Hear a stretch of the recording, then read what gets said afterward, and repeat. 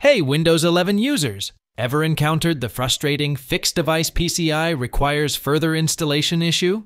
Well, you're in the right place. In today's video, we'll dive into quick and effective solutions to get your system up and running smoothly. Stay tuned for essential tips and tricks to tackle this Windows 11 hiccup.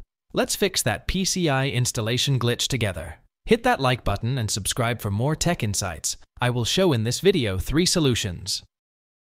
Right-click on Windows Start. Go on Settings.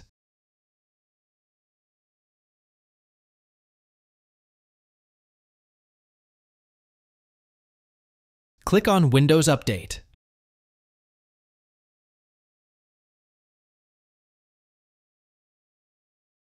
Now update Windows.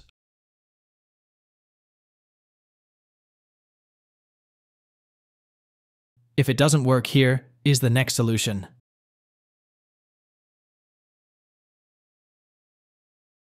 Right-click on Windows Start. Open Device Manager.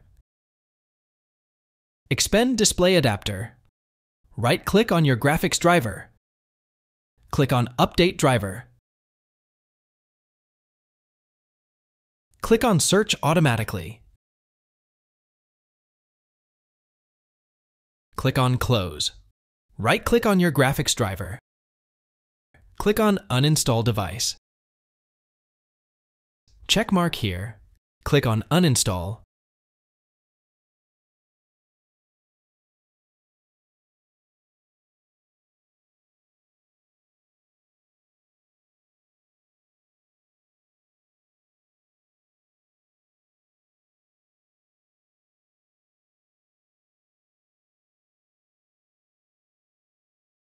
Right-click on Windows Start and restart your PC.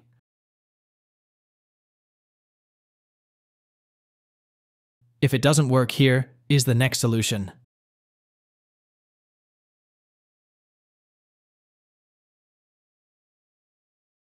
Search Security and Maintenance. Open Security and Maintenance. Now check Issue.